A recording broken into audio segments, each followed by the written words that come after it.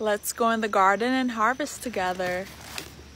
I'm gonna start off with my row of baby blackberries. This plant is loaded. This is my original blackberry plant. Every single orange flag that you see is a baby that she made. Blackberries are awesome that way. They'll make a lot of babies so you can easily replant, but you have to be careful because they can take over. I'm trying to have self-control and not eat all of these. Now it's time for blueberries.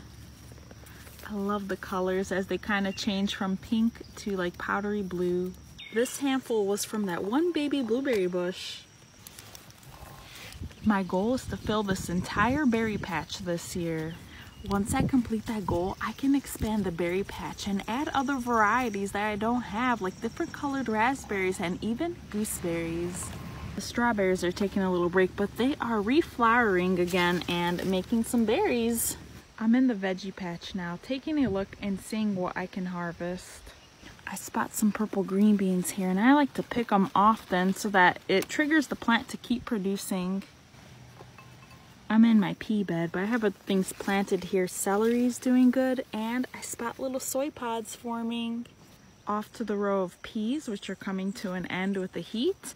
I'm probably gonna stop harvesting them soon and let them go to seed because I really love how prolific this variety was this year. And I have plans to put in some pink and purple climbing green beans in this row.